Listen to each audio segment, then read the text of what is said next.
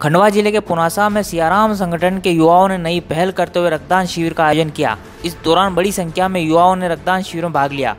संगठन के पदाधिकारी अजय राठौर ने बताया कि रक्तदान शिविर में महाराजा यशवंत हॉस्पिटल की चलित रक्तदान वाहन में युवाओं द्वारा 117 यूनिट रक्तदान किया गया, जिसमें क्षेत्र के राजनीतिक व्यक्ति दिग्विजय सिंह तोमर, दीपक पटेल, गजेंद्र सिंह सोलंकी और महिलाओं ने भी रक्तदान किया। खंडवा से ब्यूरो चीफ राम पवार नायक की रिपोर्ट।